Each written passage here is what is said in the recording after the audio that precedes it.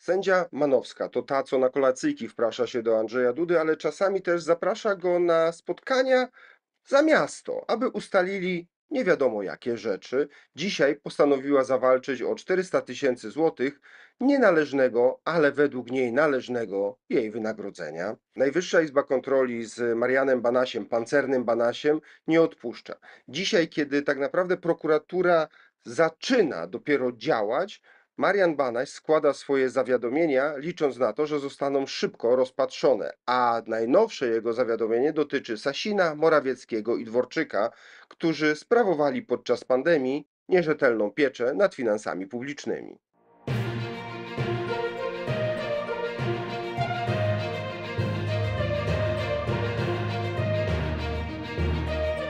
Cześć, ja mam na imię Sebastian. Dzisiaj mojego politycznego vloga zacznę od święta.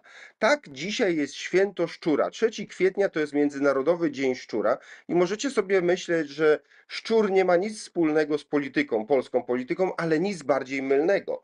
Dzięki dwóm szczurom, którzy pojawili się, no, donosicielom z angielskiego rat, czyli szczur, którzy znaleźli się w Funduszu Sprawiedliwości, dzisiaj mamy te piękne zatrzymania w domach 25 polityków, księży, a także działaczy Funduszu Sprawiedliwości. To dzięki jednemu szczurowi, albo powiedzmy 60, jednemu z dyrektorów Funduszu Sprawiedliwości, mamy dzisiaj dostęp do informacji, że 25 polityków, działaczy PiSu, a także duchownych było zaangażowanych w nierzetelne wydatkowanie finansów z Funduszu Sprawiedliwości. Jednym z tych najsłynniejszych przypadków jest ksiądz O, który został złapany na gorącym uczynku, no wróć, nie na gorącym uczynku, został złapany i doprowadzony do prokuratury prosto z hotelu o 6 rano, gdzie sobie obcował z kobietą, no taki duchowny, który prawdopodobnie dokonywał egzorcyzmów, ale pan Kaleta, który twierdzi, że inwestycja tego księdza powstaje, że ona się buduje, że ona nie jest żadnym przekrętem, ponieważ ta wydumana rzekoma afera, e, w związku z którą włamano się do domu ministra Ziobry, w związku z którą we, służby weszły do mieszkań em, kilku parlamentarzystów, Oczywiście, pan Kaleta ma, ma rację. To się buduje za ponad 60 milionów, a powinno być prawie 100 milionów. Natomiast tu nie chodzi o to, czy pieniądze są wysłane na Kajmany, czy są przeznaczone na budowę danego ośrodka. Tutaj chodzi o coś zupełnie innego.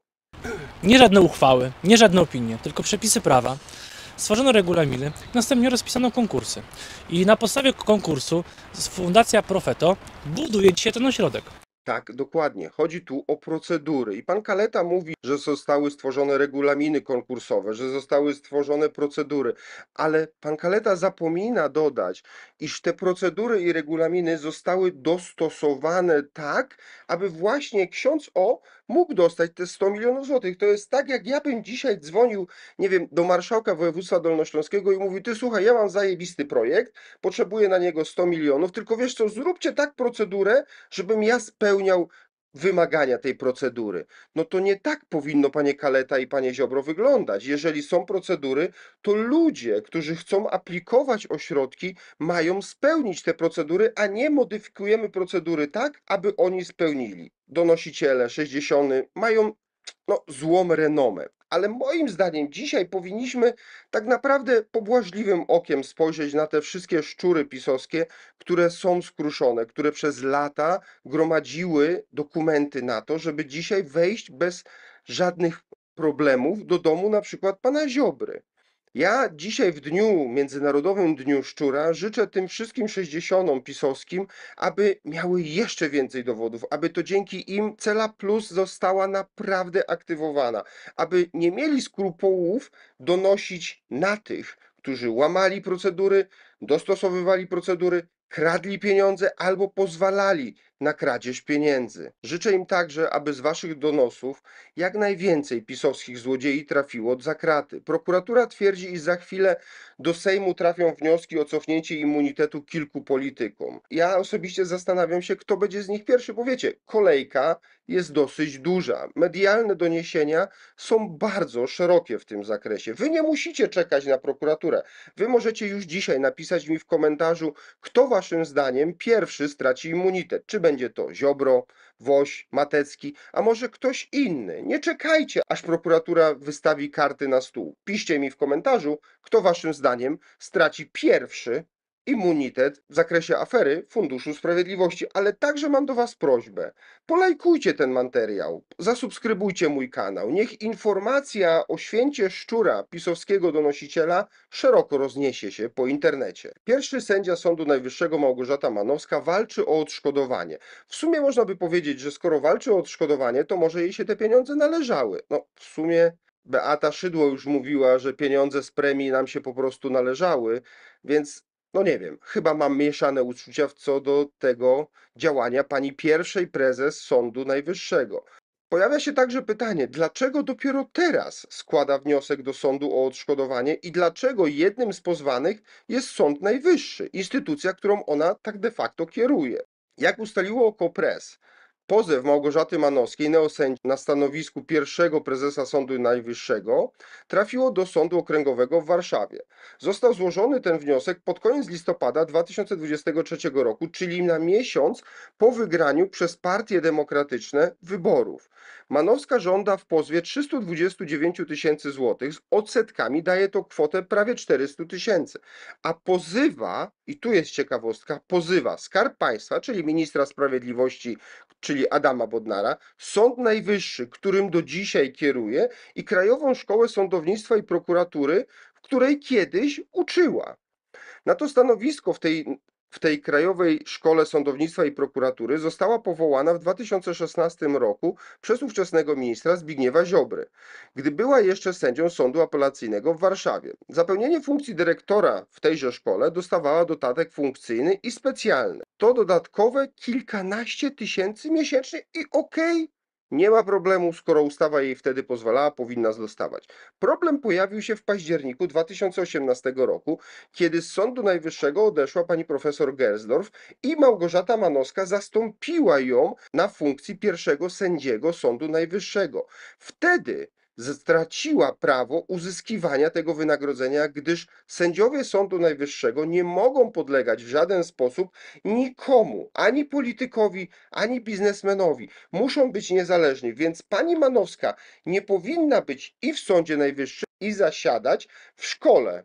Ona tego nie rozumie i dlatego dzisiaj zaczyna walczyć o 400 tysięcy złotych. Oczywiście, każdy wie, że Manowska była, jest i będzie zależna od PiSu, ale ta zależność jest delikatnie przez nią ukrywana. Natomiast bezpośrednia zależność służbowa, kiedy jest dyrektorką w szkole sędziów i prokuratorów, jej zależność jest wręcz czytelna. Ona jest zależna ministrowi sprawiedliwości i jako zależna nie powinna tam zasiadać. A to, że zasiadała, będąc dalej sędzią Sądu Najwyższego, pierwszym sędzią Sądu Najwyższego, to moim zdaniem jest tylko jej dobra wola. W Polsce brakuje prawników, którzy robią coś pro bono, za darmo. I pani Manowska, która poszła uczyć do szkoły, z której nie dostawała wynagrodzenia, bo zostało ono jej wstrzymane, moim zdaniem bardzo nobliwie się zachowała. A teraz cała ta jej heroiczna walka o dobro polskiego prawa naprawdę straciła na znaczeniu, bo walczy o 400 tysięcy,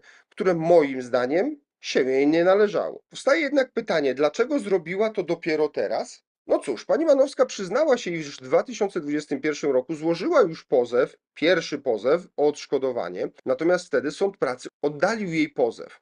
Więc dzisiaj czekała dwa lata, aby na koniec rządów PiSu złożyć kolejny pozew, tylko po to, żeby zrzucić odpowiedzialność na Adama Bodnara, żeby nie dawać paliwa Zbigniewowi Ziobro o to, że nie wypłacił albo wypłacił.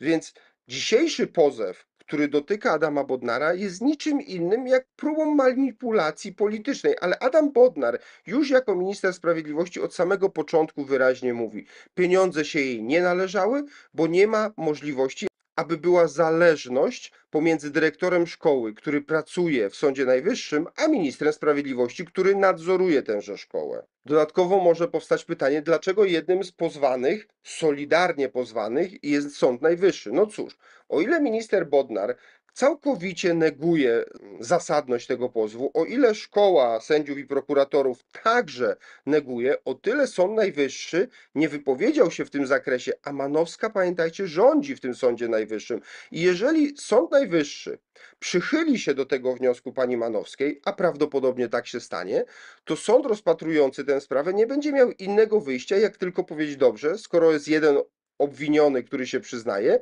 wydaje taki i taki wyrok. Więc Manowska, składając pozew przeciwko swojej instytucji, wie, że chociaż ta instytucja wypłaci jej 400 tysięcy. Po co jej te pieniądze? No cóż, pani Manowska liczy się z tym, że za chwilę straci posadę w Sądzie Najwyższym. A jak straci tę posadę, to straci też dochody kilkudziesięciu tysięcy złotych miesięcznie, więc te cztery stówki na pewno jej się przyda na chude czasy, kiedy będzie wydawała trochę pieniędzy na prawników, bo będzie pewno przez obecną władzę ściągana po sądach i po prokuraturach. O, w sumie wtedy ich uczyła, tych e, przyszłych prokuratorów i sędziów. Dzisiaj będzie miała tak zwane case study, czyli przypadek do opowiadania w następnych latach. We wczorajszym materiale, który tutaj macie, obiecałem wam ciekawostkę o Januszu Kowalskim. I tak, faktycznie przyznaję się, bo zawsze mówię prawdę, nie kombinuję i nie kręcę, nie tłumaczę się, zapomniałem wam o tym powiedzieć. Dlatego dzisiaj postanawiam naprawić swój błąd i opowiem wam o Januszu Kowalskim, który kiedyś zablokował mnie na Twitterze. W sumie do dzisiaj jestem zablokowany przez Janusza na Twitterze. Janusz Kowalski stara się zastraszyć nie tylko Adama Bodnara, nie tylko sędziów, posłów, ale także zwykłych Polaków, mówiąc, że jak dojdą do władzy, to w 12 godzin zrobią przewrót majowy w Polsce. Możecie sobie w tej chwili wyobrazić, co będzie, jeżeli my wrócimy do władzy. A co będzie? 24 godziny, Zemsta widzę. 24 godziny, to nawet może w 12 godzin będzie przejęta prokuratura, bo ta jest cała nielegalna. Tak, tak jak słyszeliście, Janusz może wyrażać swoją opinię, tylko szkoda, że w ten sposób pokazuje, jakim jest indolentem politycznym i że jest ta opinia podyktowana tylko i wyłącznie strachem o własną przyszłość, o, o przyszłość własną i swoich kolegów. Powiedzenie, że najlepszą bronią jest atak, w tym wypadku pasuje jak ulał. Moim zdaniem Janusz boi się, że za chwilę CBA, ABW albo inne służby zapukają też do niego, bo pewno w jakimś niewielkim stopniu albo dużym jest umoczony w którąś z aferek pisowskich. A w tym momencie muszę przypomnieć i wam, i Januszowi jedną rzecz. CBA teraz wchodzi o godzinę wcześniej, bo niestety, Januszu, przez tego rudego Tuska zmienialiśmy czas o godzinę do przodu. Więc Janusz, szykuj szczoteczkę i piżamkę, bo ABW zapuka nie o 6, a o 5. A, notabene wiecie, czyja to jest wina, że czas zmieniamy? Dokładnie, to jest wina Tuska. Zresztą Janusz to potwierdza. Tak jak, już, tak jak już Wam wcześniej wspomniałem, Janusz Kowalski, a także Pan Matecki zablokowali mnie na Twitterze. Wy nie musicie czekać, aż oni mnie odblokują. Zasuwajcie na Twittera, tutaj macie mojego Twittera. Tam się dzieje polityka bez cenzury. Mówię tam o tym wszystkim, jak jest. O, mówię o prawdzie, której Kowalski i Matecki nie byli w stanie wytrzymać i mnie zablokowali. Ale to dzięki Wam dostaję bardzo często tweety tych dwóch panów w wiadomościach prywatnych, więc wbijajcie na Twittera, tam jest polityka bez cenzury. Pancerny Banaś, bo tak mówili od, przez ostatnie lata o Marianu Banasiu ci, którzy go wspierali, zaczyna mieć rację bytu. Jego doniesienia do prokuratury za czasów PiSu odbijały się od ściany albo trafiały do garażu Ziarkiewicza. Dzisiaj jego doniesienia są sensowne. Marian Banaś udowadnia, iż w kolejnej aferze, w której mogło dojść do malwersacji, do utraty prawie 500 milionów złotych, tak, pół miliarda, prawie pół miliarda, czyli dokładnie taka kwota, jaką rząd Donalda Tuska przeznacza na in vitro, mogła być zmarnowana przez Sasina, Morawieckiego, a także Michała Dworczyka. Pamiętacie te piękne zdjęcia, kiedy na tle największego samolotu na świecie Morawiecki uprawiał sobie politykę? Pamiętacie te zdjęcia, kiedy Dworczyk w ubraniu prawie żołnierza idzie odbierać miliony maseczek, które przyszły z Chin? No cóż, tam się też pojawia Jacek Sasin, ale to wszystko jest nic, bo kodeks karny mówi wyraźnie. Artykuł 231 kodeksu karnego mówi, że funkcjonariusz publiczny, który przekraczając swoje uprawnienia lub nie dopełniając obowiązków działa na szkodę interesu publicznego lub prywatnego, podlega karze pozbawienia wolności do lat trzech. I tu pojawia nam się Gazeta Wyborcza ze swoim materiałem, który właśnie mówi o tym, co NIK w swoim doniesieniu do prokuratury ustanowił. NIK informował, że w kwietniu 2020 roku prezes Rady Ministrów wydał polecenie zakupu środków ochrony indywidualnej spółkom Skarbu Państwa, KGHM, Grupie Lotos oraz Agencji Rozwoju Przemysłu SA. Realizując wydane polecenie, KPRM zawarł umowy ze spółkami Skarbu Państwa, w efekcie których dokonała ona zakupu na łączną kwotę ponad pół miliarda złotych. Izba wskazała, że jeszcze przed wydaniem poleceń przez premiera i zawarciem umów wykonawczych Ministerstwo Aktywów Państwowych wprost wskazało obu spółkom, co i od kogo mają kupić. Resort, resort miał jednocześnie zapewniać o certyfikowanej jakości nabywanych produktów. Sprawa moim zdaniem dotyczyła nie tylko tych wskazanych spółek, ale także Orlenu, który pamiętacie, zapłacił za wynajęcie tego Antonowa. Moim zdaniem sprawa była prostsza niż pokazuje Gazeta Wyborcza i chodziło tam dosłownie o trzy telefony, trzy szybkie rozmowy pomiędzy kilkoma osobami. Ale zanim przejdziemy do tej rozmowy, to chciałbym Wam przypomnieć, iż na moim nowym kanale, na drugim kanale, który tutaj macie, przeprowadzam wywiady z politykami. Jest to jeden na jeden z politykami, a także osobami zajmującymi się polityką, więc już dzisiaj zapraszam Was, wbijajcie na kanał Politykiera. Tam dzieje się też polityka bez cenzury, bo rozmowy czasami są bardzo zaskakujące. Przynajmniej dla tych, których przepytuję. A więc sama rozmowa pomiędzy politykami Zjednoczonej Grupy Prawicowo-Przestępczej mogła wyglądać mniej więcej tak. Cześć Jacek, musimy coś zrobić, bo brakuje maseczek. Wiesz, na świecie nie ma tych dobrych, jest tylko takich chińskich badziewi dużo, więc trzeba coś zrobić, aby ten badziew był super i Polacy nie pytali o to, co i jak załatwiliśmy. Mateusz, a może zrobimy show, które przykryje fakt syfu, który sprowadzamy. Ludzie będą się pytali o show, a nie o same maseczki, a to, że one będą kijowe, to jakoś przełkniemy. Dobra, stary, robimy tak, super pomysł, weź coś wymyśl, weź Obajtka do tego zaciągnij. Cześć Daniel, musisz podpisać z KPRM-em umowę na dostawę maseczek za jakieś 500 baniek. Jacek, ale ja nie mam tych 500 baniek na maseczki. Co ja mam zrobić? Co ja mogę zrobić coś innego? Weźcie maseczki, niech załatwią inne spółki, a ja wam pomogę w transporcie, bo tu mam możliwości. Spokojnie, Daniel. Okej, załatwię maseczki u innych kolegów, ty się zajmij samolotem i tym wszystkim, żebyśmy zrobili show. Niech Orlen ratuje Polaków. To też będzie dobre dla ciebie, bo z jednej strony wiesz, walisz nas na benzynie, to z drugiej strony chociaż pokaż, że ratujesz trochę Polaków. Dobra, super pomysł. Dobra, Jacek, tak robimy, ja będę działał, tylko powiedz mi co i jak i z kim podpisywać. Daniel, spokojnie. Michał Dworczyk wszystko wie, kontaktuj się z nim, on będzie prawdopodobnie za chwilę do ciebie dzwonił. Cześć Michał, miałem czekać, ale wiesz, sprawa jest pilna, więc nie wiem co robić, kurna. Dawaj te umowy, piszemy, ja wysyłam kasę i załatwiamy ten samolot. Ale wiesz, jak to mamy kupić, co mamy zrobić, bo ja nic nie wiem. Spokojnie, Daniel. Maseczki te felerne, ale załatwisz. Antonowa zapłacisz, a wszystko inne biorą na siebie Lotos i inni. Ty się tym nie przejmuj. Ty, Michał, ale ty wiesz, że te maseczki są trochę felerne. Wiem, ale robimy show z Antonowem, więc jakoś to wszyscy przełkną. Okej, super plan, działamy. I właśnie tak, moi szanowni widzowie, doszło do tego, że Zjednoczona Grupa Przestępcza z ramienia PiSu zmalwersowała, zniszczyła, a także moim zdaniem przekroczyła swoje uprawnienia na kwotę prawie 500 milionów złotych. Moim zdaniem w całej tej aferze nie tylko Obajtek i Orlen ugryźli, uszczknęli sobie kilka milionów z całego tego procederu. Prawdopodobnie znajdą się jeszcze koledzy i kolesie, tak zwani pośrednicy. Albo jak to mówi Gazeta Wyborcza, słupy w całej tej transakcji, które przytuliły jeszcze po kilka, może kilkanaście milionów, bo jeżeli szef KPRM-u mówi do ciebie, wydajemy 500 milionów bez żadnych procedur, no to ty jak widzisz, że bez żadnych procedur, to dla siebie albo dla kolegów królika zawsze coś uszczkniesz. O innych przekrętach Obajtka i Orlenu zrobiłem tutaj bardzo fajny materiał. Zapraszam was tam, bo tam Orlen naprawdę doił Polaków. Za dzisiaj już wam dziękuję i pamiętajcie, widzimy się jutro, bo polityka nie śpi.